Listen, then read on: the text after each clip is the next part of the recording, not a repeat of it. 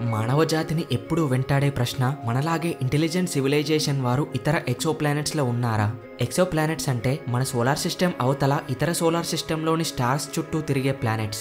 అలాంటి exo ప్లానెట్స్లో civilisation వారుంటే వారి technology ఎలా ఉంటుంది? ఇంటెలిజెంట్ సివిలైజేషన్ కాకపోయినా కనీసం లైఫ్ అనేది ఎక్సో ప్లానెట్స్లో ఉందా? ఇలాంటి ఎన్నో ప్రశ్నలు. గడిచిన వేల సంవత్సరాలలో ఈ ప్రశ్నలకి సమాధానం కనుక్కోవడం సాధ్యం కాకపోవచ్చు. కానీ గత వంద సంవత్సరాల నుండి మన టెక్నాలజీ చాలా అభివృద్ధి చెందింది. ఎన్నో రాకెట్స్ శాటిలైట్స్ అండ్ ఇతర స్పేస్ క్రాఫ్ట్స్ని అంతరిక్షంలోకి పంపిస్తున్నాం. అలానే ఏలియన్ లైఫ్ గురించి కూడా అన్వేషణ మొదలుపెట్టాం. సుమారు ఎర్లీ నైన్టీన్త్ సెంచరీ నుండే చాలామంది ఇండివిజువల్గా ఏలియన్స్ కోసం వారు పంపే సిగ్నల్స్ కోసం రేడియో టెలిస్కోప్స్ ద్వారా అన్వేషణ మొదలుపెట్టారు.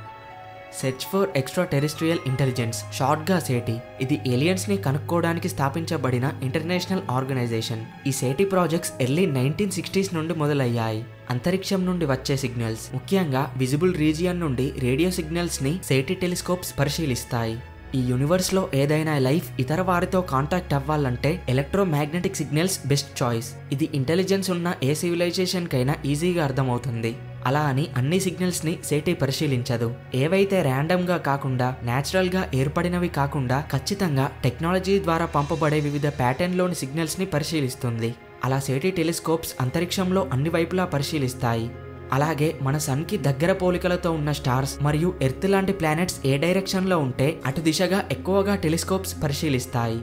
Project Ozma project Phoenix Breakthrough Listen Serendip ఇలా చాలా ప్రాజెక్ట్స్ పేర్లతో సేటి గత అరవై సంవత్సరాలుగా అంతరిక్షాన్ని పరిశీలిస్తుంది. మన గెలాక్సీలోని కొన్ని వేల స్టార్ సిస్టమ్స్తో పాటు ఇతర హండ్రెడ్ గెలాక్సీస్ దిశగా రేడియో ట్రాన్స్మిషన్స్ వస్తున్నాయా అని చెక్ చేసింది. కానీ ఇప్పటివరకు ఏలియన్స్ నుండి సిగ్నల్స్ వచ్చినట్టు ఒక్క స్ట్రాంగ్ ఎవిడెన్స్ కూడా లేదు.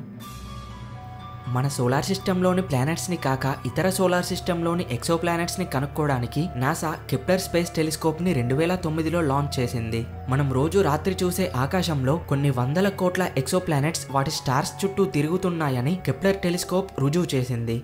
అలాంటి టూ థౌజండ్ సిక్స్ హండ్రెడ్కి పైగా ఎక్సో ప్లానెట్స్ని కెప్లర్ టెలిస్కోప్ డిస్కవర్ చేసింది.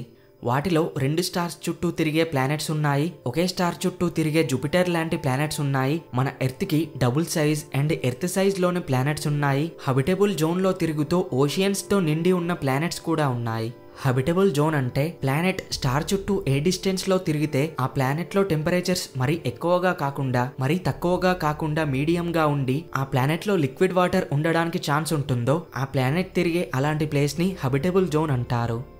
కెప్లర్ టెలిస్కోప్ మాత్రమే కాక కారోట్ టెస్ట్ లాంటి స్పేస్ క్రాఫ్ట్స్ ఎన్నో ఎక్సో ప్లానెట్స్ని డిస్కవర్ చేశాయి. అలాగే గ్రౌండ్ బేస్డ్ టెలిస్కోప్స్ కూడా కొన్ని వందల ఎక్సో ప్లానెట్స్ని డిస్కవర్ చేశాయి.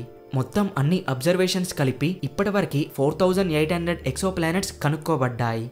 ప్రోగ్జిమా సెంటారీ బి ఇది భూమికి అతి దగ్గరగా ఉండి ఇతర స్టార్ చుట్టూ హెబిటబుల్ జోన్లో తిరిగే ఎక్సో ప్లానెట్ ఇది భూమికి four point two light years దూరంలో ఉంది. కెప్లర్ ట్వంటీ టూ బి మన సన్ లాంటి స్టార్ చుట్టూ హబిటబుల్ జోన్లో తిరిగే ఎక్సో ప్లానెట్ ఇది సిక్స్ హండ్రెడ్ లైట్ ఇయర్స్ దూరంలో ఉంది. Teegarden's B and C ఇవి రెండు ఎక్సో ప్లానెట్స్ మన ఎర్త్ సైజ్లో ఉండి హబిటబుల్ జోన్లో తిరుగుతున్న ఎక్సో ప్లానెట్స్ ఇవి భూమికి ట్వెల్వ్ లైట్ ఇయర్స్ దూరంలో ఉన్నాయి. టాయ్ సెవెన్ హండ్రెడ్ డి ఇది కూడా మన ఎర్త్ సైజ్లోని ఎక్సో ప్లానెట్ ఇది one hundred one light years దూరంలో దాని స్టార్ చుట్టూ హబిటబుల్ జోన్లో తిరుగుతుంది. ఇలా Kepler seven three seven B Tau Ceti F TRAPPIST one G Kepler sixty two E Gliese six sixty seven C C మొత్తం డెబ్బైకి పైగా ఎక్సో ప్లానెట్స్ వాటి స్టార్స్ చుట్టూ హబిటబుల్ జోన్లో తిరిగే వాటిని కనిపెట్టాం. వీటన్నింటిలో వాటర్ ఉండడానికి పాసిబుల్గా లైఫ్ ఉండడానికి ఛాన్సెస్ ఉన్నాయి.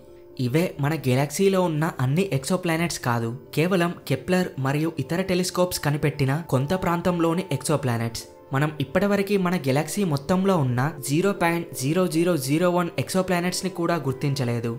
కెప్లర్ డేటా ప్రకారం నాలుగు వేల కోట్ల ఎర్త్ సైజ్లోని ఎక్సో ప్లానెట్స్ హబిటబుల్ జోన్లో తిరుగుతున్నాయి. వాటిలో పదకొండు వందల కోట్ల ఎక్సో ప్లానెట్స్ మన సన్ లాంటి స్టార్స్ చుట్టూ హబిటబుల్ జోన్లో తిరుగుతున్నాయి అని అంచనా. ఇది కేవలం మన మిల్కీవే గెలాక్సీలో మాత్రమే. అంటే ఈ యూనివర్స్లో అన్ని గెలాక్సీస్లో ఎన్ని ఎర్త్ సైజ్లోని ఎక్సో ప్లానెట్స్ హబిటబుల్ జోన్లో తిరుగుతున్నాయో ఆ సంఖ్య మన ఊహకి కూడా అందదు. ఈ విశ్వం ఆవిర్భవించి పదమూడు వందల డెబ్బై ఏడు కోట్ల సంవత్సరాలవుతుంది. అందులో మన సోలార్ సిస్టమ్ ఏర్పడి నాలుగు వందల యాభై ఏడు కోట్ల సంవత్సరాలవుతుంది. మన భూమి ఏర్పడి నాలుగు వందల యాభై నాలుగు కోట్ల సంవత్సరాలవుతుంది. భూమిపై మొట్టమొదటి జీవం ఏర్పడి మూడు వందల డెబ్బై కోట్ల సంవత్సరాల పైనే అవుతుంది. అయితే భూమిపై లైఫ్ మొదలైనప్పటి నుండి ఇంటెలిజెంట్గా మనం ఎదిగే వరకు మూడు వందల డెబ్బై కోట్ల సంవత్సరాలైతే మనకన్నా ముందు ఈ విశ్వంలో ఎన్నో లక్షల కోట్ల ఎక్సో ప్లానెట్స్ ఏర్పడి ఉంటాయి. ఒకవేళ వాటిలో మనకన్నా ముందే లైఫ్ ఏర్పడితే ఆల్రెడీ ఇప్పటికీ ఇంటెలిజెంట్ సివిలైజేషన్ డెవలప్ అయ్యే ఉంటుంది. అంటే విశ్వంలో ఎన్ని ఇంటెలిజెంట్ సివిలైజేషన్స్ ఉండి ఉంటాయో అర్థం చేసుకోవచ్చు.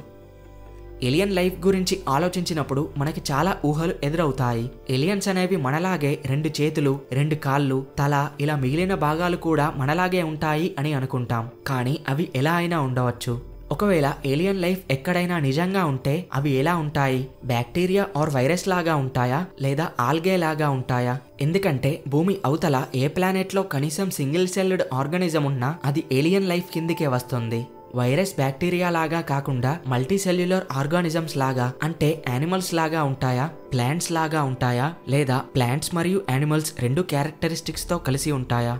మనలాగే వాటికి రెండు కాళ్ళు రెండు చేతులు ఉండి నడుస్తూ పనులు చేయగలవా? మన కళ్ళలాగానే వారు చుట్టూ ఉన్న వాటిని చూడగలరా? లేక మనకి తెలియని మనం ఊహించలేని ఇతర సెన్సెస్ ఏమైనా వారికి ఉంటాయా? మనలాగే ఆక్సిజన్ పీల్చుకుంటారా? లేక ఇతర ఏదైనా గ్యాసా? ఇలా ఎన్నో ప్రశ్నలు. ప్రస్తుతం మనకి తెలిసిన ఆస్ట్రోబయాలజీ ప్రకారం ఒక ప్లానెట్లో లైఫ్ సర్వైవ్ అవ్వాలంటే లైఫ్కి తప్పనిసరి కొన్ని లక్షణాలుండాలి. ముఖ్యంగా ఆ జీవులలో చిన్న సెల్స్ ఉండాలి. సెల్స్ బాడీలో చాలా పనులు చేస్తాయి. అలాగే టిష్యూస్ ఆర్గాన్స్ మరియు ఇతర అన్ని సిస్టమ్స్ ఏర్పడేలా చేస్తాయి. ఆ జీవిలో ఫంక్షన్స్ నిరంతరంగా జరగాలి. అప్పుడే ఆ జీవి బ్రతికి ఉండగలుగుతుంది. ఆ జీవి వాటి కాపీస్ని సెక్సువల్గా లేదా అసెక్సువల్గా అయినా రిప్రొడక్షన్ చేయాలి ఆహారం నుండి ఎనర్జీని తీసుకోవాలి. చుట్టూ ఉన్న ఎన్విరాన్మెంట్కి అనుగుణంగా మారగలగాలి. అయితే శాస్త్రవేత్తలు ఒక థియరీ మాత్రం గట్టిగా నమ్ముతున్నారు. ఒకవేళ ఏదైనా ప్లానెట్లో జీవం ఏర్పడితే కోట్ల సంవత్సరాల కాల వ్యవధిలో ఆ జీవం కొన్ని వందల వేల జాతులుగా మారుతుంది. మన భూమిపై జరిగింది అదే. ఏ ప్లానెట్లో అన్ని ప్రదేశాలలో అన్ని సందర్భాలలో పరిస్థితులు ఒకేలా ఉండవు. కాబట్టి వాటికి అనుగుణంగా జీవం వివిధ జాతులలాగా మారుతుంది. ఒకవేళ చుట్టూ ఉన్న పరిస్థితులకి అనుగుణంగా మారకపోతే ఆ జీవం అంతరించిపోతుంది. అలా సర్వైవ్ అయిన వాటిలో ఆలోచన శక్తి పెరిగితే అవి ఇంటెలిజెంట్ సివిలైజేషన్గా ఎదుగుతాయి. సో ఓవరాల్గా చెప్పాలంటే ఏలియన్ లైఫ్ మనం ఎక్స్పెక్ట్ చేసిన విధంగా కాకుండా ఏ విధంగా అయినా ఉండవచ్చు. మనం ఎప్పుడు మనకి తోచింది మనకి అనిపించిందే నిజం అనుకుంటాం. శాస్త్రవేత్తలు కూడా అలా పొరపాటు పడ్డారు. ముప్పై సంవత్సరాల క్రితం వరకు భూమిపై లైఫ్ అంతా సన్లైట్ ఆధారంగా బ్రతుకుతుంది అనుకున్నాం. భూమిపై అత్యంత హై టెంపరేచర్స్ అత్యంత లో టెంపరేచర్స్లో మనం జీవాన్ని ఎప్పుడూ గుర్తించలేదు. కానీ సముద్ర శాస్త్రవేత్తలు సముద్రాల లోపల హైడ్రోథెర్మల్ వెంట్స్ని ఎక్స్ప్లోర్ చేసిన తర్వాత మన అవగాహన మొత్తం మారింది. హైడ్రోథెర్మల్ వెంట్స్ అనేవి సముద్రం పైనుండి కొన్ని కిలోమీటర్ల లోపల సముద్రం నేల దగ్గర ఉంటాయి. ఆ ప్రాంతం మొత్తం చీకటిగా ఉండి అక్కడి వాటర్ హై ప్రెషర్తో ఉంటాయి. ఈ వెంట్స్ నుండి వచ్చే వాటర్ హండ్రెడ్ టెన్ డిగ్రీస్ నుండి త్రీ ఫిఫ్టీ డిగ్రీ సెల్సియస్ టెంపరేచర్తో ఉంటాయి. అంటే నీరు ఆవిరిగా మారేంత వేడిగా ఉంటాయి. ఆ టెంపరేచర్స్లో కూడా అక్కడ క్రాబ్స్ మరియు ఇతర సీ యానిమల్స్ బ్రతుకుతున్నాయి. అలాంటి సన్లైట్ కూడా రాని మరియు ఎక్స్ట్రీమ్ కండిషన్స్కి ఈ యానిమల్స్ ఎలా సర్వైవ్ అవుతున్నాయో శాస్త్రవేత్తలకి అర్థం కాలేదు. ఆ టెంపరేచర్స్ మరియు ఆ కండిషన్స్లలో నేలపై నివసించే ఏ జీవి కూడా గంట కూడా బ్రతికి ఉండలేదు. అయితే ఈ హైడ్రోథర్మల్ వెంట్స్ యొక్క ప్రపంచాన్ని డిస్కవర్ చేసిన తర్వాత జూపిటర్ మూన్ అయిన యూరోపాలో లైఫ్ ఉండడానికి ఛాన్స్ ఉందని వాదనలు వచ్చాయి. ఎందుకంటే యూరోపా మూన్ సర్ఫేస్ పై వాటర్ అంతా ఐస్గా ఆ ఐస్ లోపల ఇలాంటి హైడ్రోథర్మల్ వెంట్స్ ఉండే అవకాశాలు చాలా ఉన్నాయని శాస్త్రవేత్తలు అంటున్నారు. పాసిబుల్గా ఆ ఐస్ క్రస్ట్ లోపల లైఫ్ కూడా ఉండే ఛాన్స్ ఉందని అంటున్నారు. ఇది ఇలా ఉండగా అంటార్కిటికాలో minus hundred degree Celsius temperature దగ్గర అంటే వాటర్ ఐస్ రూపంలో ఉండే టెంపరేచర్స్ దగ్గర చాలా రకాల మైక్రో ఆర్గానిజమ్స్ నివసిస్తున్నాయి. అంటే ఇలాంటి కండిషన్స్తో ఉన్న మార్స్పై కొన్ని ప్రాంతాలలో జీవం ఉండే అవకాశం ఉందని కూడా అంటున్నారు. భూమిపైనే ఎన్నో ఎక్స్ట్రీమ్ కండిషన్స్లో లైఫ్ సర్వైవ్ అవుతుందంటే ఇతర ప్లానెట్స్ ఎక్సో ప్లానెట్స్లలో లైఫ్ ఈజీగా అభివృద్ధి చెందగలదు. ఒకవేళ మార్స్ అండ్ యూరోపాలో లైఫ్ని గుర్తించినట్టయితే ఎక్సో ప్లానెట్స్లో జీవాన్ని గుర్తించడం ఇంకా చాలా సులభం అవుతుంది. ఇవి అజంప్షన్స్ మాత్రమే. ఎందుకంటే భూమిపై డిఎన్ఏ ఆర్ఎన్ఏ జీవం ఏర్పడడానికి జెనెటిక్ మెటీరియల్గా ఉంది. కానీ ఎక్సో ప్లానెట్స్లో ఈ జెనెటిక్ మెటీరియల్ ఏ విధంగా ఉంటుందో ఎలా ఏర్పడుతుందో అంచనా వేయలేం. ప్రస్తుతం ఉన్న టెలిస్కోప్ సహాయంతో ఎక్సోప్లానెట్స్లో టెంపరేచర్స్ ఏ విధంగా ఉంటుంది వాటర్ ఉందా లేదా అని తెలుసుకోగలుగుతున్నాం. ఎలా అంటే ఒక ఎక్సోప్లానెట్స్ నుండి రిఫ్లెక్ట్ అయ్యే కొద్దిపాటి లైట్ లేదా స్టార్ నుండి వచ్చే లైట్ ఎక్సోప్లానెట్ అట్మాస్ఫియర్ నుండి ట్రావెల్ చేసి మనకి రీచ్ అయితే ఆ కొద్దిపాటి లైట్ ద్వారా ఆ ప్లానెట్ అట్మాస్ఫియర్లో ఎటువంటి కెమికల్స్ ఉన్నాయో శాస్త్రవేత్తలు గుర్తించగలరు. రెండు వేల ఎనిమిదిలో SD one eight nine seven double three B అనే ఎక్సోప్లానెట్లో carbon dioxide methane carbon monoxide ముఖ్యంగా వాటర్ ఉండడాన్ని గుర్తించారు. ఈ ఒక్క ప్లానెట్ పై మాత్రమే కాదు Wasp seventeen B Wasp nineteen B గ్జో one B ఇంకా మరికొన్ని ఎక్సో ప్లానెట్స్లో వాటర్ ఉండడం గుర్తించాం. అలాగే రెండు వేల పదిహేనులో నాసా వాస్ప్ థర్టీన్ బి అనే ఎక్సో ప్లానెట్కి ఎర్త్ కన్నా చాలా రేట్లు బలమైన ఓజోన్ లేయర్ ఉండడం గుర్తించింది. ఇలా వాటర్ అట్మాస్ఫియర్ గుర్తించిన వాటిలో నైంటీ పర్సెంట్ ఎక్సో ప్లానెట్స్ మన జూపిటర్ కన్నా పెద్దవే ఉన్నాయి. రెండు వేల పంతొమ్మిదిలో Hubble space telescope K two eighteen b అనే ఎక్సోప్లానెట్లో వాటర్ ఉండడం గుర్తించింది. ఇదే హబిటబుల్ జోన్లో తిరిగే ఎక్సోప్లానెట్లో వాటర్ గుర్తించబడిన మొదటి ఎక్సోప్లానెట్ దీని సైజ్ సుమారుగా ఎర్త్కి డబుల్ ఉంటుంది. అయితే నాసా కొన్ని ప్లానెట్స్లలో క్లౌడ్స్ని కూడా గుర్తించింది. ఇలా ఇవన్నీ ఎక్సోప్లానెట్స్ యొక్క బయో సిగ్నేచర్స్ మాత్రమే. కానీ ఆ ప్లానెట్స్లో ఖచ్చితంగా జీవం ఉందని ఎవిడెన్సెస్ కాదు. అయితే ఏలియన్ లైఫ్ ఉందని తెలిపే అంశాలేంటి అనే సందేహం మనకి రావచ్చు. కొంతమంది శాస్త్రవేత్తలు ఏం చెప్తున్నారంటే ఒకవేళ ఎర్త్ సైజ్లో హబిటబుల్ జోన్లో తిరిగే ప్లానెట్స్లో ఆక్సిజన్ ఓజోన్ వాటర్ నైట్రోజన్ ఆక్సైడ్ని గుర్తించగలిగితే ఆ ప్లానెట్లో లైఫ్ ఉందని కన్ఫర్మ్ చేసుకోవచ్చు అంటున్నారు. ఎందుకంటే water oxygen ozone life survive అవ్వడానికి బేసిక్ అయితే నైట్రోజన్ డైఆక్సైడ్ ఆ ప్లానెట్లో వాల్కనోస్ యాక్టివిటీ లైట్నింగ్ స్ట్రైక్స్ మరియు ఓషియన్స్ ఉన్నాయి అని చెప్పే సింబల్స్ భూమిపై మొదటి జీవం ఏర్పడినప్పుడు భూమిపై అంతా వాల్కనోస్ పేలడం సముద్రాలు అల్లకల్లోలంగా ఉండడం మెరుపులు రావడం పిడుగులు విపరీతంగా పడడం ఇలా ఉండేది. వీటన్నింటి కలయిక వల్లనే ఎమైనో యాసిడ్స్ ఏర్పడ్డాయి. ఇవే జీవం ఏర్పడడానికి మొదటి కెమికల్స్. అలాగే నైట్రోజన్ డైఆక్సైడ్ ఒక అడ్వాన్స్డ్ సివిలైజేషన్కి కూడా సింబల్. ఎందుకంటే భూమిపై nitrogen dioxide sixty percent volcanoes oceans lightning వల్ల ప్రొడ్యూస్ అయితే ఫార్టీ పర్సెంట్ హ్యూమన్ ఫ్యూల్ని బర్న్ చేసే కార్స్ బసెస్ మరియు ఇతర వెహికల్స్ ద్వారా ప్రొడ్యూస్ అవుతుంది. అలాగే మరికొందరు శాస్త్రవేత్తలు హైడ్రోజన్ సైనైడ్ వాటర్ ప్లానెట్లో ఉంటే లైఫ్ ఏర్పడడానికి ఛాన్సెస్ ఉందని అంటున్నారు. కానీ ఇప్పటివరకు ఎక్సో ప్లానెట్స్లో అట్మాస్ఫియర్ని స్టడీ చేయడం కొన్ని ప్లానెట్స్ వరకే పరిమితమయ్యింది.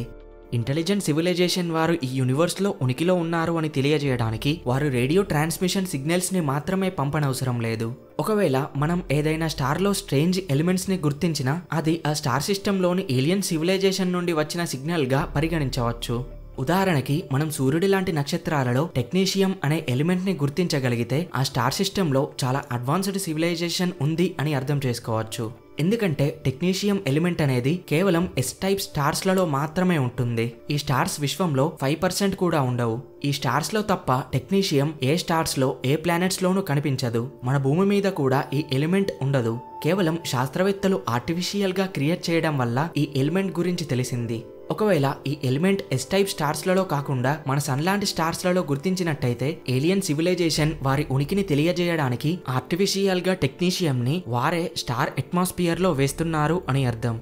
ఇంకా ఏలియన్స్ వారు ఉన్నారు అనే సంకేతాలని ఏ విధంగా అయినా తెలుపవచ్చు. కానీ ప్రస్తుతం మన టెలిస్కోప్స్ ఏలియన్ వరల్డ్స్ని డీప్గా స్టడీ చేసేంత స్ట్రాంగ్గా లేవు. ఫ్యూచర్లో వచ్చే జేమ్స్ వెబ్ టెలిస్కోప్ అలాంటి ఎన్నో రహస్యాలను ఛేదిస్తుంది.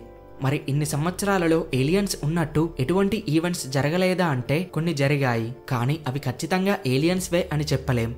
భూమికి fourteen hundred seventy light years దూరంలో KIC eight four six two eight five two అనే స్టార్ ఉంది. సాధారణంగా ఎక్సోప్లానెట్స్ని గుర్తించడానికి టెలిస్కోప్స్ స్టార్స్ లైట్ని పరిశీలిస్తాయి.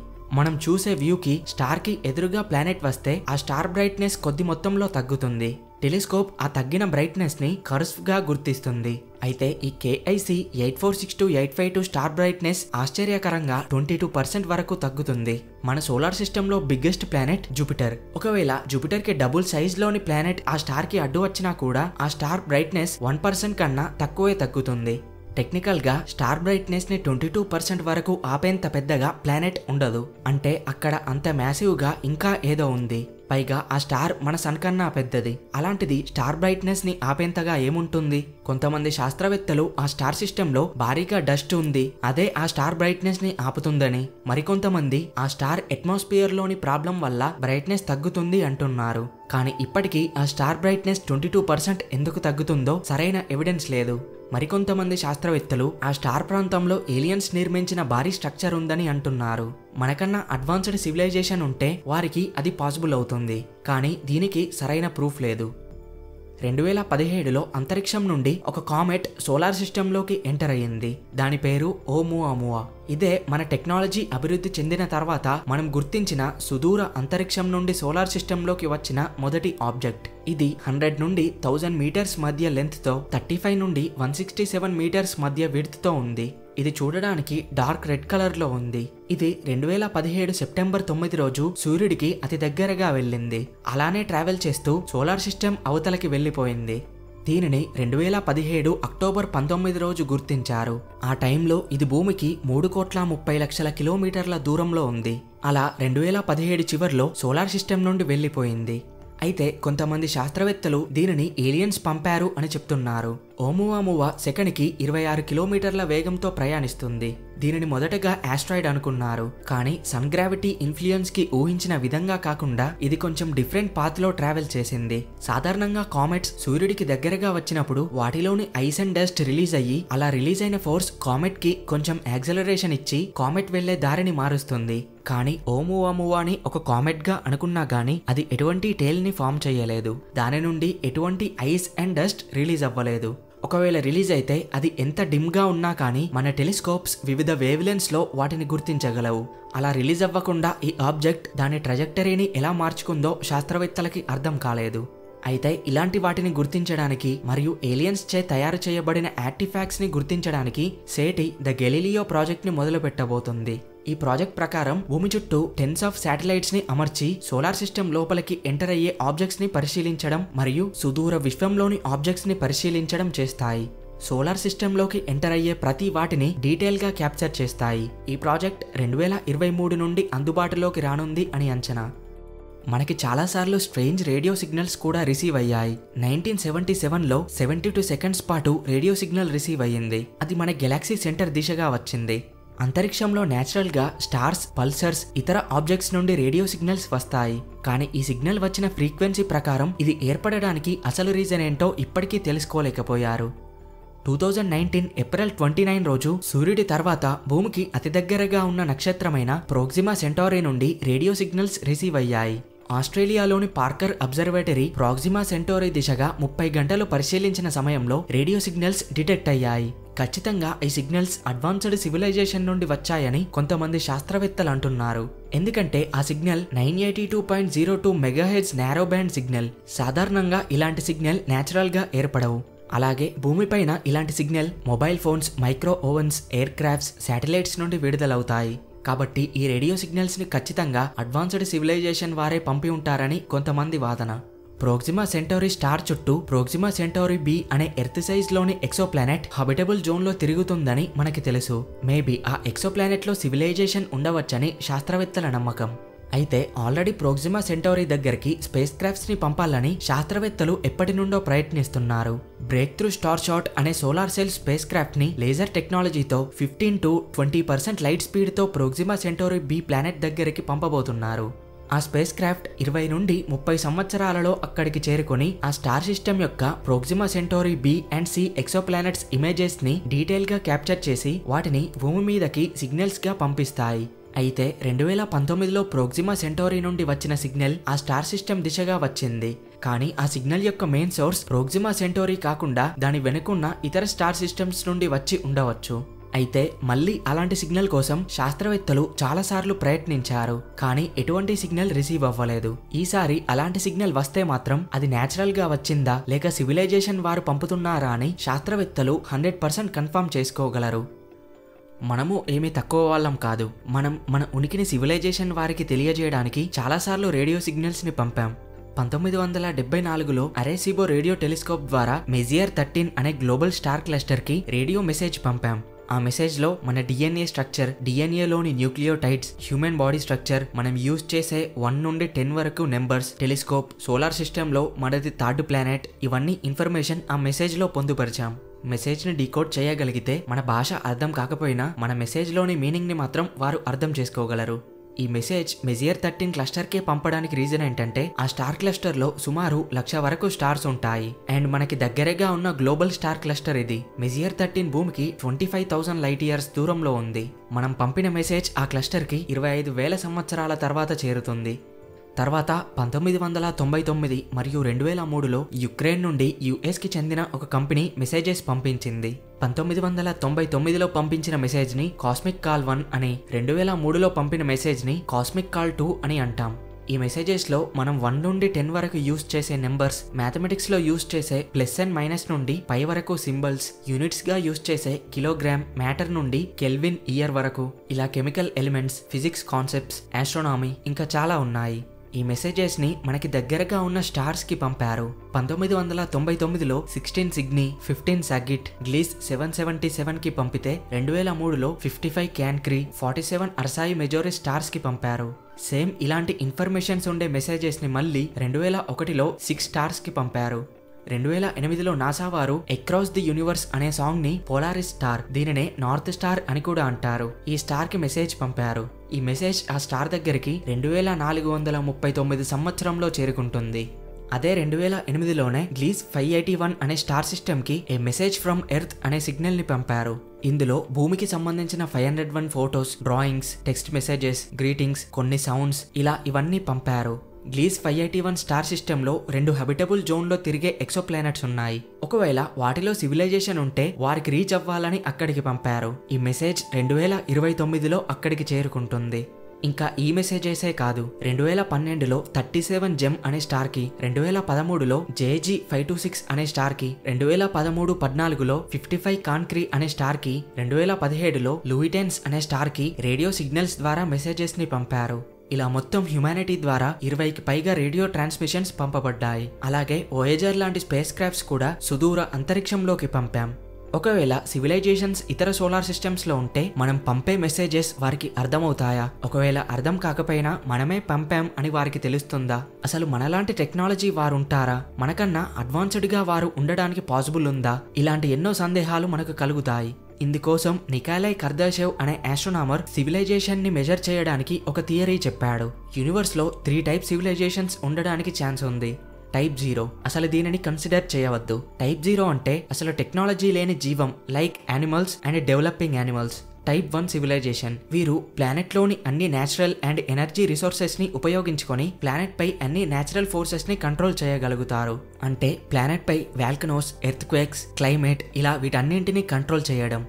తర్వాత టైప్ టూ సివిలైజేషన్. వీరు స్టార్ యొక్క టోటల్ ఎనర్జీని ఉపయోగించుకుంటారు. అలాగే ఆ స్టార్ సిస్టమ్ని కంట్రోల్ చేయగలుగుతారు. స్టార్ చుట్టూ డైసన్ స్పియర్ లాంటి మెగా స్ట్రక్చర్స్ను నిర్మించి స్టార్ యొక్క టోటల్ ఎనర్జీని వారి ఆధీనంలోకి తెచ్చుకుంటారు. అలాగే కామెట్స్ యాస్ట్రాయిడ్స్ ప్లానెట్ని ఢీకొట్టకుండా చేయగలుగుతారు. ఈవెన్ ప్లానెట్ ఆర్బిట్ని మార్చగలుగుతారు. వారి సోలార్ సిస్టంలోకి భారీగా రోగ్ ప్లానెట్ ఎంటర్ అయితే దానిని డిస్ట్రాయ్ చేయగలుగుతారు. తర్వాత టైప్ త్రీ సివిలైజేషన్. వీరు గెలాక్సీలోని టోటల్ ఎనర్జీని యూజ్ చేయగలుగుతారు. గెలాక్సీలోని ఫోర్సెస్ని కంట్రోల్ చేయగలుగుతారు. అంటే స్టార్స్ ట్రావెల్ చేసే రూట్ని మార్చడం ఇతర సోలార్ సిస్టంలో కాలనీస్ని ఏర్పాటు చేసుకోవడం లాంటివి. ఈ సివిలైజేషన్ వారికి లైట్ స్పీడ్కి దగ్గర స్పీడ్లో ట్రావెల్ చేయడం పాసిబుల్ అవుతుంది. అలాగే మన ఊహకి కూడా అందని టెక్నాలజీస్ వీరి దగ్గర ఉంటాయి. మనం ఇందులో టైప్ వన్ సివిలైజేషన్గా కూడా లేము. మరో రెండు వందల నుండి మూడు వందల సంవత్సరాలలో మనం టైప్ వన్ సివిలైజేషన్గా ఎదుగుతాం. కొన్ని వేల సంవత్సరాలలో టైప్ టూ లక్ష సంవత్సరాలలో టైప్ త్రీ సివిలైజేషన్గా మారుతామని శాస్త్రవేత్తల అంచనా. టూ థౌజండ్ ఫిఫ్టీన్లో యూనివర్స్పై చేసిన స్టడీస్ ప్రకారం యూనివర్స్లో టైప్ త్రీ సివిలైజేషన్ లేదు. కానీ టైప్ వన్ మరియు టైప్ టూ ఉండడానికి ఛాన్స్ ఉంది. టైప్ వన్ సివిలైజేషన్లో కూడా లేని మనం టెలిస్కోప్స్ ద్వారా కొన్ని వేల లక్షల లైట్ ఇయర్స్ అవతల ఏమున్నాయో చూడగలుగుతున్నాం. ఒకవేళ type one or type two civilization వారు మన గెలాక్సీలో లేదా మన నైబర్ గెలాక్సీస్లో ఉంటే వారు భూమిని సిటీ లైట్స్తో సహా చూడగలరు. ఎందుకంటే type one type two civilization వారి యొక్క టెక్నాలజీ అంత స్ట్రాంగ్గా ఉంటుంది. మన భూమి ఒక వెయ్యి నాలుగు నక్షత్రాల పొజిషన్స్కి పర్ఫెక్ట్గా కనబడుతుంది. ఒకవేళ మన సరౌండింగ్లోని ఈ ఒక వెయ్యి నాలుగు నక్షత్రాల చుట్టూ తిరిగే ప్లానెట్స్లో సేమ్ మనలాంటి సివిలైజేషన్ వారు ఉంటే వారు స్పెక్ట్రమ్ లైట్ ద్వారా కెమికల్ కాంపోజిషన్స్ గుర్తించగలిగితే ఆల్రెడీ భూమిపై జీవం ఉందని వారికి తెలిసే ఉంటుంది. ఇంతకీ మన గెలాక్సీలో ఏ ప్లానెట్లో అయినా జీవం ఉందా? మనలాంటి సివిలైజేషన్ వారు ఉన్నారా లేరా అనేది కూడా అంచనా వేసుకోవాలి. అసలు మన గెలాక్సీలో అడ్వాన్స్డ్ సివిలైజేషన్ వారు ఉన్నారా ఉంటే ఎన్ని సివిలైజేషన్స్ ఉన్నాయి? ఈ ప్రశ్నలకి ఫ్రాంక్ డ్రెక్ అనే శాస్త్రవేత్త ఏం చెప్తున్నారంటే నాసా అంచనాల ప్రకారం మన గెలాక్సీలో ఒకటి నుండి మూడు స్టార్స్ ప్రతి సంవత్సరం కొత్తగా ఏర్పడుతున్నాయి. ఈ ప్రాసెస్ వందల కోట్ల సంవత్సరాలుగా జరుగుతూనే ఉంది. అలా ప్రతి స్టార్కి ప్లానెట్స్ ఉంటాయా అంటే ప్రతి స్టార్కి ఖచ్చితంగా ఒక్క ప్లానెట్ అయినా ఉంటుంది. కానీ అలా ఒక్క ప్లానెట్ ఉన్న స్టార్ సిస్టంలో జీవం ఏర్పడదు. జీవం ఏర్పడాలంటే మినిమం ఒకటి కన్నా ఎక్కువ ఐదు కన్నా తక్కువ ప్లానెట్స్ ఉండాలి. ఇంకా ఎక్కువ ప్లానెట్స్ ఉంటే జీవానికి ఎక్కువ ఛాన్సెస్ ఉంటాయి. అలా ఉన్న ప్లానెట్స్లలో ఏదో ఒక ప్లానెట్ ఆ స్టార్ సిస్టమ్కి హబిటబుల్ జోన్లో తిరగాలి. అంటే ఒక స్టార్ సిస్టంలో ఎన్ని ప్లానెట్స్ ఉన్నా కూడా ఒకే ప్లానెట్లో లైఫ్ ఏర్పడడానికి ఛాన్స్ ఉంది. అండ్ ఆ ఒకే ప్లానెట్లోనే ఇంటెలిజెంట్ సివిలైజేషన్ ఏర్పడుతుంది.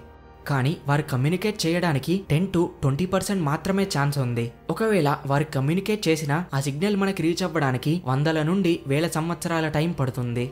సో ఇవన్నీ పారామీటర్స్ మన గెలాక్సీలో ఉన్న వందల కోట్ల ఎక్సో ప్లానెట్స్కి వర్తింపజేస్తే మన గెలాక్సీలో మనలాగా కమ్యూనికేట్ చేసే సివిలైజేషన్స్ వంద నుండి పదివేలైనా ఉండాలి. కానీ ఎందుకని మనతో ఇంతవరకు ఎవరూ కమ్యూనికేట్ చేయలేదు? ఎందుకు మన గెలాక్సీలో ఏలియన్స్ ఆనవాళ్ళు కనబడటం లేదు? కొన్ని వందల కోట్ల స్టార్స్ వాటి చుట్టూ వందల కోట్ల ప్లానెట్స్లలో ఒక్క సివిలైజేషన్ అయినా లేకపోదా? మన సూర్యుడు పుట్టక ముందే గెలాక్సీలో చాలా నక్షత్రాలు గ్రహాలున్నాయి. ఒకవేళ వాటిలో ఎప్పుడో జీవం ఏర్పడి ఉంటే ఇన్ని వందల కోట్ల సంవత్సరాలలో ఆ జీవం అడ్వాన్స్డ్గా మారకపోదా? మరి ఎందుకు ఏ ఏలియన్స్ని మనం గుర్తించడం లేదు? దీనికి ఫెర్మి మరియు రాబిన్ హ్యాన్సన్ అనే శాస్త్రవేత్తలు ఏం చెప్తున్నారంటే ఎక్సోప్లానెట్స్లలో జీవం ఏర్పడుతుందేమో గానీ ఆ జీవం ఇంటెలిజెంట్ సివిలైజేషన్గా మారకపోవచ్చు. అంటే వారిలో తెలివితేటలు అంతగా ఇంప్రూవ్ కాకపోవచ్చు. సాధారణంగా ఒక బోల్ట్ తయారు చేయాలంటేనే చాలా ఫార్ములాస్ని యూజ్ చేస్తాం. అలాంటిది ఇతర ప్లానెట్స్లలోని జీవులు రేడియో టెలిస్కోప్స్ స్పేస్ క్రాఫ్ట్స్ లాంటి వాటిని తయారు చేయాలంటే మామూలు విషయం కాదు. అలా జీవం ఏర్పడినా కూడా వారి దగ్గర టెక్నాలజీ అభివృద్ధి చెందలేదేమో? ఏలియన్స్కి ఇంటర్స్టెల్లర్ ట్రావెల్ పాసిబుల్ అయినా మన వరకు రీచ్ అవ్వడం సాధ్యం కాదేమో? ఎందుకంటే విశ్వంలో లైట్ కన్నా వేగంగా ఏదీ వెళ్ళలేదు. ఒకవేళ వారు లైట్ స్పీడ్కి దగ్గర స్పీడ్లో ట్రావెల్ చేసినా గానీ మన వరకు రీచ్ అయ్యేసరికి వారి ఏజ్ సరిపోదేమో? లేదా లైట్ ఇయర్స్ పాటు ట్రావెల్ చేయడానికి వారి దగ్గర సరిపడా ఫ్యూల్ లేదేమో? అసలు భూమి అనేది ఒకటి ఉందని ఇక్కడ జీవం ఉందని ఇక్కడ వరకు ప్రయాణించాలని వారు అనుకొని ఉండకపోవచ్చు. మేబీ వాళ్ళు ఆల్రెడీ వచ్చి ఉంటారు కానీ అప్పటికి భూమిపై జీవం ఏర్పడలేదు కావచ్చు. భూమి ఆవిర్భవించే కన్నా ముందు ఈ విశ్వం వందల కోట్ల సంవత్సరాలు ఉనికిలో ఉంది. కాబట్టి వారు ముందే వచ్చారేమో? లేదా మనం ఉండగానే వారు వచ్చినా మనం అంతగా వారిని పట్టించుకొని ఉండకపోవచ్చు. ఏలియన్ సివిలైజేషన్స్ యొక్క ప్లానెట్స్లలో జరిగిన నేచురల్ డిజాస్టర్ వలన అంటే ఆస్ట్రాయిడ్స్ ప్లానెట్ పై పడడం వాల్కనోస్ పేలడం లాంటివి వాటి వలన ఏలియన్ లైఫ్ అంతమై ఉండవచ్చు. భూమిపై ఆస్ట్రాయిడ్స్ పడడం వల్ల చాలాసార్లు అప్పటి అరవై శాతం జీవులు అంతరించిపోయాయి. సేమ్ ఇలానే ఏలియన్ ప్లానెట్స్లలో కూడా జరిగి ఉండవచ్చు. లేదా వారు చాలా అడ్వాన్స్డ్ సివిలైజేషన్గా మారి వారిపై వారే వార్స్ చేసుకొని చనిపోయి ఉంటారు. మనం ప్రస్తుతం అటామిక్ హైడ్రోజన్ అనే పేర్లతో బాంబ్స్ని డెవలప్ చేసి వాటితో కొన్ని కంట్రీస్ని నాశనం చేయగలిగే బాంబ్స్ని తయారు చేశామంటే మనకన్నా అడ్వాన్స్డ్గా ఉండేవారు డిఫెన్స్ కోసం ఇంకెంత పవర్ఫుల్ బాంబ్స్ని తయారు చేసుకొని ఉండవచ్చు? అలా వారిలో వారికే గొడవలయ్యి ఆ బాంబ్స్ ద్వారా అంతరించిపోయి ఉండవచ్చు. మనం పంపే సిగ్నల్స్ వారు ఉన్న పొజిషన్స్కి రీచ్ అవ్వకపోవచ్చు లేదా రీచ్ అవ్వలేనంత దూరంగా వారు ఉండవచ్చు. ఒకవేళ మనం పంపే సిగ్నల్స్ వారికి రీచ్ అయినా వారు ఎక్కువ టైం పాటు వచ్చే సిగ్నల్స్ని డిటెక్ట్ చేస్తూ ఉండవచ్చు. సాధారణంగా మనం పంపే సిగ్నల్స్ నిమిషాల పాటు మాత్రమే ఉంటాయి. ఒకవేళ పంపిన సిగ్నల్స్ వారికి అర్థమైనా వారు రెస్పాన్స్ ఇవ్వట్లేదేమో లేదా ఇలా రేడియో సిగ్నల్స్ని రిసీవ్ చేసుకునేలాగా వారి టెక్నాలజీ లేకుండా వారి టెక్నాలజీ వేరే విధంగా ఉందేమో లేదా అసలు అవుట్ సైడ్ వరల్డ్తో కాంటాక్ట్ అవ్వడం వారికి ఇష్టం లేదేమో వారు ఇంటెలిజెంట్ సివిలైజేషన్ వారైతే అసలు ఎర్త్పై జీవులతో కాంటాక్ట్ అవ్వడం టైం వేస్ట్ అనుకుంటున్నారేమో. అంటే మనం వారికి చాలా తెలివి తక్కువ వారిలా ఒక బ్యాక్టీరియా లాంటి జీవులలా కనిపిస్తున్నామేమో. అసలు భూమిపై జీవం ఏర్పడడానికి ఏలియన్సే కారణమై ఉండొచ్చు. ఎందుకంటే భూమిపై పడే చాలా యాస్ట్రాయిడ్స్లలో ఎమైనో యాసిడ్స్ని గుర్తించాం. ఈ ఎమైనో యాసిడ్స్ జీవం ఏర్పడడానికి ఒక కారణం. ఇలా ఏలియన్స్ భూమిపై జీవాన్ని సృష్టించి మనం ఎటూ వెళ్ళలేని విధంగా చేసి మనపై ఎక్స్పెరిమెంట్ చేస్తున్నారేమో. ఏలియన్స్ నిరంతరంగా సిగ్నల్స్ని పంపిస్తున్నా కూడా మనమే వాటిని సరిగ్గా రిసీవ్ చేసుకోవట్లేదేమో. అలాగే సరిగ్గా డికోడ్ చేసేంత నాలెడ్జ్ మన దగ్గర లేదేమో. మనం కేవలం ఎలక్ట్రోమాగ్నెటిక్ ట్రాన్స్మిషన్స్నే మెసేజెస్గా ఉపయోగిస్తున్నాం. కానీ వారు ఇతర మెథడ్లో సిగ్నల్స్ని పంపి ఉండవచ్చు. ఏలియన్ సివిలైజేషన్ మన గెలాక్సీలో కాకుండా ఇతర గెలాక్సీస్లో ఉండవచ్చు లేదా మన గెలాక్సీలో ఉన్నా కూడా మనకి ఆపోజిట్ సైడ్లో ఉండవచ్చు. సాధారణంగా గెలాక్సీ ప్లేన్ అవతల స్టార్స్ని మనం డిటెక్ట్ చేయడం చాలా కష్టం. అక్కడ అంత డస్ట్ అండ్ గ్యాస్ ఉంటుంది. మనం రేడియో టెలిస్కోప్స్ని డెవలప్ చేసుకుంది గత మూడు వందల సంవత్సరాల నుండే. ఒకవేళ ఏలియన్స్ అంతకుముందు నిరంతరంగా సిగ్నల్స్ పంపితే మనం ఎలాగో వాటిని గుర్తించలేం. కొంతమంది శాస్త్రవేత్తలు అసలు ఏలియన్ లైఫ్ని వెతకడం చాలా డేంజర్ అంటున్నారు. ఎందుకంటే వారికి మంచి లక్షణాలు లేకుండా ఇతర సివిలైజేషన్ వారు కనిపిస్తే వారిని అంతం చేయాలని చూస్తారేమో. అలాగే వారు కూడా మనం వారిని కనిపెడితే మనమే వారిని చంపేస్తాం అని భయపడి కాంటాక్ట్ అవ్వకుండా ఉండవచ్చు. అయితే దీనికి ఆన్సర్గా మరికొందరు శాస్త్రవేత్తలు టెలిస్కోప్స్ స్పేస్ క్రాఫ్ట్స్ని తయారు చేసుకునేంత టెక్నాలజీ వారి దగ్గర ఉంటే వారు ఇండిపెండెంట్గా ఉంటారు. ఇన్ని సంవత్సరాల కాల వ్యవధిలో వారు కూడా మనలాగే ఎదురు చూస్తారు. అలాగే వారిలో కూడా గుడ్ క్యారెక్టరిస్టిక్స్ డెవలప్ అవుతాయి అని చెప్తున్నారు. ఒక ప్లానెట్లో అడ్వాన్స్డ్ సివిలైజేషన్ డెవలప్ అవ్వాలంటే ఆ ప్లానెట్ సరైన ఎలిమెంట్తో ఉన్న స్టార్తో ఉండాలి. ప్లానెట్లో ఫ్రీగా జెనెటిక్ కోడ్ డిఎన్ఏ ఆర్ఎన్ఏ లాంటివి ఎవాల్వ్ అవ్వాలి. తర్వాత సింగిల్ సెల్యులర్ లైఫ్ తర్వాత మల్టీ సెల్యులర్ లైఫ్ ఎదగాలి. తర్వాత రిప్రొడక్షన్ జరగాలి. ఆ క్రియేచర్స్ ఎదగాలి. వారిలో తెలివితేటలు పెరగాలి. చుట్టూ ఉన్న వాటిని అర్థం చేసుకొని అన్ని రిసోర్సెస్ని ఉపయోగించుకోగలగాలి. టూల్స్ని ఉపయోగించుకొని జ్ఞానాన్ని పెంచుకోవాలి. తర్వాత సివిలైజేషన్గా ఒక గ్రూప్గా కంబైన్ అయ్యి కాలనీస్ని ఏర్పాటు చేసుకోవాలి. వారికి వారు కమ్యూనికేట్ చేసుకోగలగాలి. తర్వాత టెక్నాలజీని అభివృద్ధి చేసుకోవాలి. విశ్వంలో ఇతర చోట్ల జీవం ఉందా అని వారు కూడా వారి టెక్నాలజీస్తో పరిశోధనలు చేయాలి ఇలా ఇవన్నీ జరిగితేనే వారిని మనం గుర్తించగలం. ఈ ప్రాసెస్లో ఏది బ్రేక్ అయినా ఏది సరిగ్గా జరగకపోయినా వారి గురించి వారున్నారని ఎవరికీ తెలియదు. కాబట్టి మోస్ట్ సివిలైజేషన్స్లో ఇన్ని ప్రాసెస్లలో ఏదో ఒకటి సరిగ్గా జరగకపోవడం వల్లే ఆ సివిలైజేషన్ అడ్వాన్స్డ్గా మారడం లేదు. అందువల్లనే ఏలియన్ లైఫ్ గురించి ఎటువంటి ఆనవాళ్ళు లేవు. మరికొందరు శాస్త్రవేత్తలు విశ్వంలో భూమిపై మాత్రమే జీవం ఉంది మరెక్కడా జీవం లేదు అంటున్నారు. ఎర్త్ లాంటి ప్లానెట్స్ ఈ విశ్వంలో చాలా కామన్గా ఉంటాయి. కానీ మన ఎర్త్ మాత్రం ఒక కామన్ ప్లానెట్ కాదు. ఎర్త్పై జీవం ఏర్పడడానికి జీవం ఇంత కాంప్లెక్స్ అవ్వడానికి చాలా కారణాలు ఉన్నాయి. ఇలాంటి పరిస్థితులు మరే ప్లానెట్లో జరగకపోవచ్చు. ఇప్పుడు మనం తెలుసుకునే థియరీ రేర్ ఎర్త్ హైపోథెసిస్ ఈ థియరీ ప్రకారం భూమిపై తప్ప మరెక్కడా ఇంటెలిజెంట్ సివిలైజేషన్ లేదు. విశ్వంలో మరెక్కడా లేని విధంగా భూమిపై మాత్రమే జరిగిన రేర్ కండిషన్స్ వల్లే భూమిపై life and intelligent civilization develop అయ్యింది. ఈ థియరీని పీటర్ వర్డ్ మరియు డొనాల్డ్ బ్రౌన్లీ అనే ఇద్దరు శాస్త్రవేత్తలు రెండు వేల సంవత్సరంలో పబ్లిష్ చేశారు.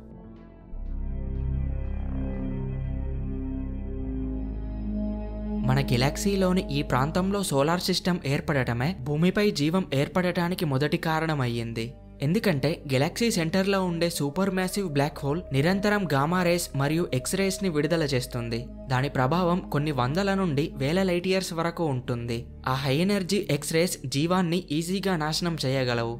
అలాగే గెలాక్సీ సెంటర్ దగ్గర ఎక్కువగా సూపర్ నోవాస్ జరుగుతాయి. సూపర్ నోవాస్ వల్ల అవి జరిగిన ముప్పై నుండి యాభై లైట్ ఇయర్స్ దూరంలోని ప్రాంతానికి హై ఎనర్జీ అల్ట్రావైలెట్ రేడియేషన్ వెళ్తుంది. ఈ ఒక్క ఈవెంట్ జీవాన్ని కొన్ని గంటలలో నాశనం చేయగలదు.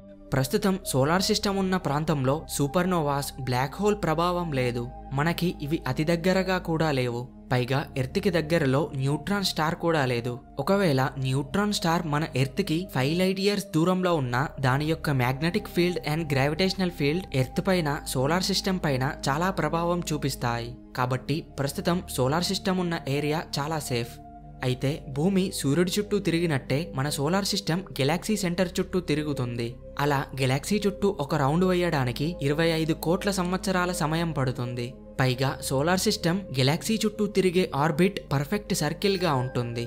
అంటే సోలార్ సిస్టమ్కి గెలాక్సీ సెంటర్కి కాలం మారినా దూరం మాత్రం ఎక్కువగా పెరగదు తగ్గదు. కాన్స్టెంట్ డిస్టెన్స్ నుండి సోలార్ సిస్టమ్ గెలాక్సీ సెంటర్ చుట్టూ తిరుగుతుంది. అయితే మన milky way galaxy fifty thousand light years రేడియస్తో ఉంటుంది. ఇక్కడ గెలాక్సీ ఎడ్జ్ నుండి thirty three thousand light years దూర ప్రాంతాన్ని గెలాక్సీ హబిటబుల్ జోన్గా శాస్త్రవేత్తలు భావిస్తున్నారు. అంటే ఈ thirty three thousand light years radius ప్రాంతంలో లైఫ్ ఏర్పడటానికి ఎక్కువ అవకాశం ఉంది. మన సోలార్ సిస్టమ్ ఈ గెలాక్సీ హబిటబుల్ జోన్లోనే తిరుగుతుంది. ఈ ప్రాంతంలో సోలార్ సిస్టంతో పాటు మరో నాలుగు వేల కోట్ల నక్షత్రాలు తిరుగుతున్నాయి. జీవం అభివృద్ధి చెందాలంటే లిక్విడ్ వాటర్ తప్పనిసరి అవసరం. ప్లానెట్లో లిక్విడ్ వాటర్ ఉండాలంటే ఆ ప్లానెట్ హబిటబుల్ జోన్లో ఉండాలి. అంటే ప్లానెట్ స్టార్ చుట్టూ ఏ దూరంలో తిరిగితే ఆ ప్లానెట్లో లిక్విడ్ వాటర్ ఉంటాయో ఆ ప్రాంతాన్ని హబిటబుల్ జోన్ అంటారు. హబిటబుల్ జోన్ ప్రాంతంలో ప్లానెట్ తిరిగితే అక్కడ టెంపరేచర్స్ మరీ ఎక్కువగా మరీ తక్కువగా కాకుండా మీడియంగా ఉంటాయి. దీని గురించి ఆల్రెడీ లాస్ట్ వీడియోలో తెలుసుకున్నాం. ఇక్కడ ఎర్త్ సన్ చుట్టూ పర్ఫెక్ట్ డిస్టెన్స్లో తిరుగుతుంది. అంతేకాదు మన సన్ లైఫ్కి సపోర్ట్ చేసే ఒక పర్ఫెక్ట్ స్టార్. ఎందుకంటే సన్ సైజ్ అండ్ దానిలోని ఎలిమెంట్స్ ప్రాపర్గా ఉన్నాయి. అంటే హైడ్రోజన్ అండ్ హీలియం కన్నా హెవియర్ ఎలిమెంట్స్ ఎంత మోతాదులో ఉండాలో అంతే ఉన్నాయి. అలా ఉండడం వల్లనే ఎర్త్ లైఫ్కి సపోర్ట్ చేసే ఒక రాకీ ప్లానెట్ లాగా ఫామ్ అయ్యింది. అయితే శాస్త్రవేత్తలు గమనించిన వేల స్టార్స్లలో లైట్ అండ్ హీట్లో చాలా మార్పులు ఉన్నాయి అంటే కాలం మారుతున్న కొద్దీ స్టార్ యొక్క బ్రైట్నెస్ తగ్గడం లేదా పెరగడంలో మార్పులు రావడం. కానీ మన సన్లో అలాంటి వేరియేషన్ కేవలం జీరో పాయింట్ వన్ పర్సెంట్ మాత్రమే ఉంది. ఇప్పటివరకు సన్ తప్ప ఇంత తక్కువ లుమినాసిటీ వేరియేషన్ ఉన్న ఒక్క స్టార్ని కూడా శాస్త్రవేత్తలు గుర్తించలేదు. లుమినాసిటీ వేరియేషన్ ఎందుకంత ఇంపార్టెంట్ అంటే ఒకవేళ స్టార్ యొక్క బ్రైట్నెస్ పెరుగుతూ తగ్గుతూ ఉంటే స్టార్ నుండి వచ్చే లైట్ అండ్ హీట్ కూడా అదే విధంగా పెరుగుతూ తగ్గుతుంది. దానివల్ల ప్లానెట్లో ఒకేసారి టెంపరేచర్స్ విపరీతంగా పడిపోవడం విపరీతంగా పెరగడం జరుగుతాయి. సరే ప్లానెట్స్ హబిటబుల్ జోన్లో తిరిగితే దానిలో జీవం ఏర్పడడానికి అవకాశం ఉంటుంది. కానీ తప్పనిసరిగా ఏర్పడుతుంది అని కాదు. ఉదాహరణకి మన సన్ కన్నా పెద్దగా ఉండే స్టార్ సిస్టంలో హబిటబుల్ జోన్ ఆ స్టార్కి దూరంగా ఉంటుంది. ఎందుకంటే పెద్ద స్టార్స్ ఎక్కువగా హీట్ రేడియేషన్ ఎనర్జీని విడుదల చేస్తాయి కాబట్టి. పెద్ద నక్షత్రాల యొక్క జీవితకాలం చాలా తక్కువ. అంటే అవి తక్కువ కాలంలోనే చనిపోతాయి. అయితే కాలం గడిచే కొద్దీ పెద్ద నక్షత్రాలలో హీట్ రేడియేషన్ పెరుగుతుంది అండ్ స్టార్ సైజ్ కూడా పెరుగుతుంది. దీనివల్ల అప్పటివరకు ఆ స్టార్ సిస్టంలోని హబిటబుల్ జోన్ కాస్త ఇంకా దూరంగా జరుగుతుంది. కానీ ప్లానెట్ స్టార్ చుట్టూ తిరిగే దూరం మాత్రం తగ్గదు. దానివల్ల ప్లానెట్లో జీవంకి అనుగుణంగా అట్మాస్ఫియర్ క్రియేట్ అయిన స్టార్ యొక్క హీట్ అండ్ రేడియేషన్ కాలం మారుతున్న కొద్దీ పెరగడం వల్ల ఆ ప్లానెట్లో కాంప్లెక్స్ లైఫ్ డెవలప్ అయ్యే లోపే జీవం అంతరించిపోతుంది. ఇప్పుడు సన్ కన్నా చిన్న స్టార్స్లలో చూస్తే చిన్న స్టార్స్ తక్కువ హీట్ రేడియేషన్ని విడుదల చేస్తాయి. కాబట్టి ఈ స్టార్ సిస్టంలో హబిటబుల్ జోన్ ఆ స్టార్కి దగ్గరగా ఉంటుంది. అంటే స్టార్కి దగ్గరగా ఉండే హబిటబుల్ జోన్లోనే ప్లానెట్ తిరగాలి. ఇక్కడ ఒక చిక్కుముడి ఉంది. ప్లానెట్ స్టార్కి దగ్గరగా తిరిగితే ఆ ప్లానెట్ వాటి స్టార్తో టైడల్ లాక్ అవుతుంది. అంటే ప్లానెట్ యొక్క వన్ సైడ్ ఫేస్ ఎప్పుడు స్టార్ దిశగా ఉంటే మరో సైడ్ ఫేస్ ఆ స్టార్కి ఆపోజిట్ వైపు ఉంటుంది. దానివల్ల ప్లానెట్లో వన్ సైడ్ చాలా హై టెంపరేచర్స్ మరొక సైడ్ చాలా లో టెంపరేచర్స్ ఉంటాయి. మన సూర్యుడికి దగ్గరగా ఉన్న రెండు ప్లానెట్స్ మెర్క్యూరీ మరియు వీనస్ మెర్క్యూరీలో ఒక రోజు గడవాలంటే fifty eight earth days time పడుతుంది. వీనస్లో ఒక రోజు గడవాలంటే two forty two earth days time పడుతుంది. మన సోలార్ సిస్టంలోనే ఇలా ఉంటే చిన్న స్టార్స్ చుట్టూ దగ్గరగా తిరిగే ప్లానెట్స్లలో ఈ డే టైం లెంత్ ఇంకా ఎక్కువే ఉండొచ్చు. కొన్ని ప్లానెట్స్లలో డే టైం ఎప్పటికీ పూర్తవ్వకపోవచ్చు. సో మొత్తంగా పెద్ద మరియు చిన్న స్టార్ సిస్టమ్స్లలో లైఫ్ ఏర్పడకపోవచ్చు. చనిపోయిన స్టార్స్ అంటే వైట్ వాఫ్స్ న్యూట్రాన్ స్టార్స్ దగ్గర అస్సలు లైఫ్ ఏర్పడే ఛాన్స్ లేదు. సెఫైడ్ వేరియబుల్స్ అనే కొన్ని ప్రత్యేకమైన స్టార్స్ దగ్గర కూడా జీవం ఏర్పడదు. ఎందుకంటే సెఫైడ్ వేరియబుల్ స్టార్స్ కొన్ని రోజులు పెద్దగా కొన్ని రోజులు చిన్నగా అవుతాయి. దానివల్ల వాటికి దగ్గరగా ఉండే ప్లానెట్స్ యొక్క టెంపరేచర్స్ కొన్ని రోజులు మరీ ఎక్కువగా ఉంటే మరికొన్ని రోజులు చాలా తక్కువగా ఉంటాయి. రేర్ ఎర్త్ థియరీ ప్రకారం సన్ లాంటి మీడియం స్టార్స్ దగ్గరే జీవం ఏర్పడడానికి ఛాన్స్ ఉంది. కానీ అలాంటి మీడియం రేంజ్ స్టార్స్ మన గెలాక్సీలో కేవలం నైన్ పర్సెంట్ మాత్రమే ఉన్నాయి.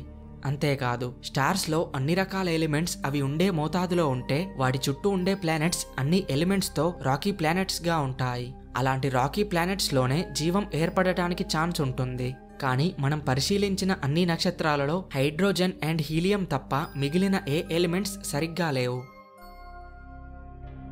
మన సోలార్ సిస్టంలో ప్లానెట్స్ యొక్క అరేంజ్మెంట్ కూడా భూమి మీద జీవం ఇప్పటి వరకు కొనసాగడానికి ఒక కారణం. Solar సిస్టంలోని first four planets rocky planets తర్వాత ఫోర్ ప్లానెట్స్ గ్యాస్ ప్లానెట్స్.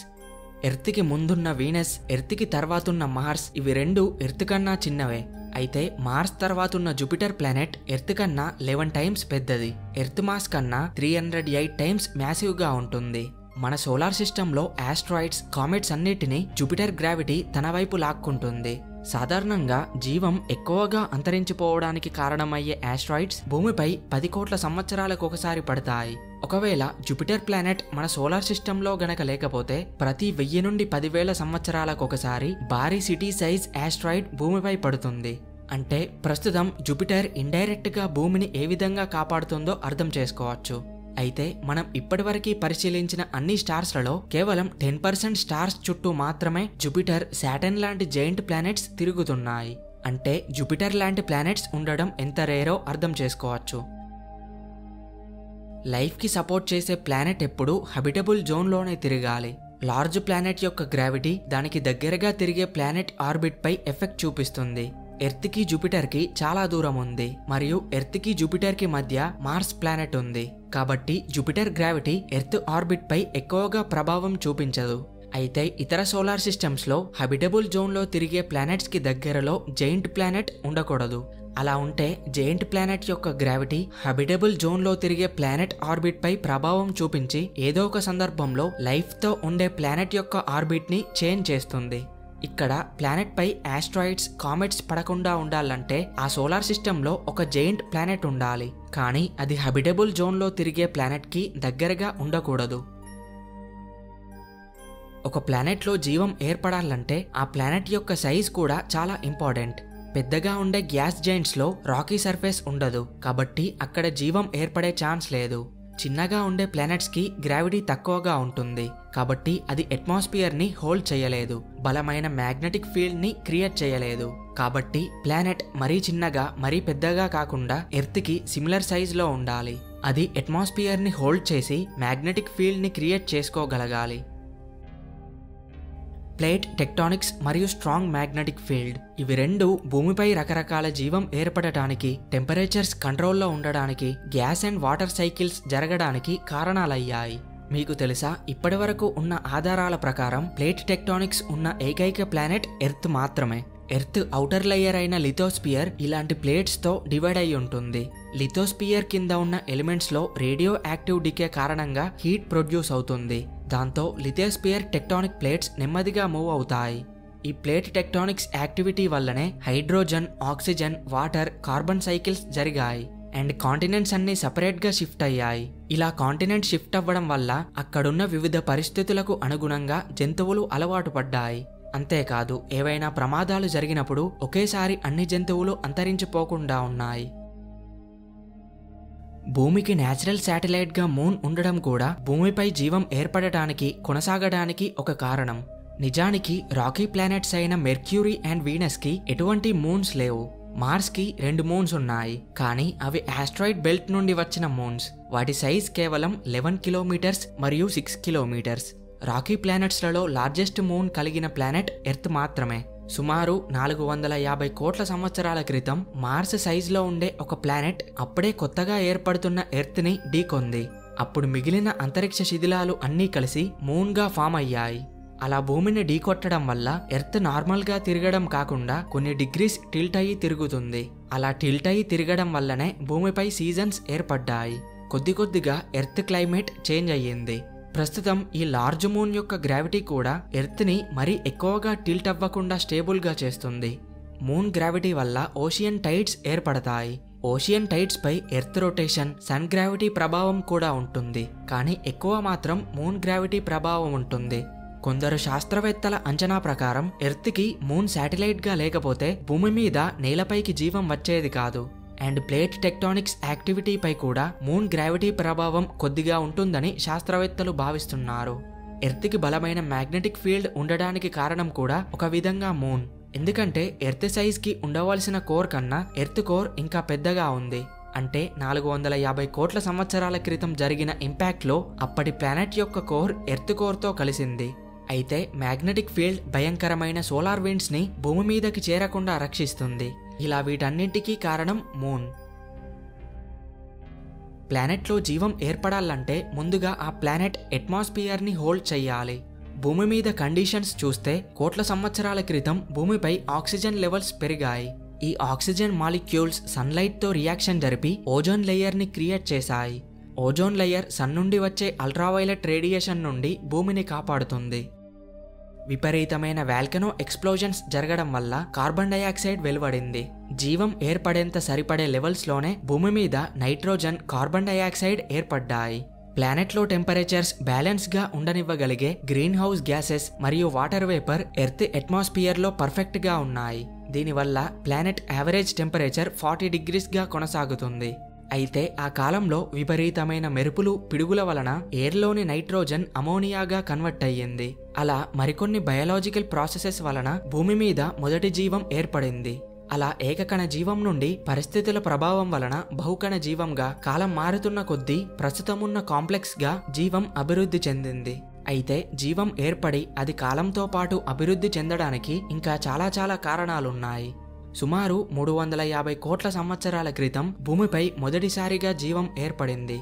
ఈ మూడు వందల యాభై కోట్ల సంవత్సరాలలో కేవలం గడిచిన పదివేల సంవత్సరాలలోనే ఇంటెలిజెంట్ సివిలైజేషన్ ఏర్పడటం మొదలైంది.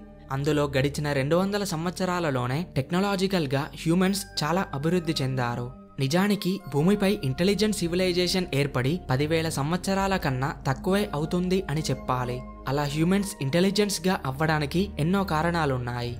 అయితే రేర్ ఎర్త్ థియరీ ప్రకారం విశ్వంలో ఏ ప్లానెట్లోనైనా జీవం ఏర్పడుతుంది కావచ్చు. కానీ ఆ జీవం అడ్వాన్స్డ్ సివిలైజేషన్గా మాత్రం ఎదగదు. అలా జరిగింది అంటే అది భూమిపై మాత్రమే.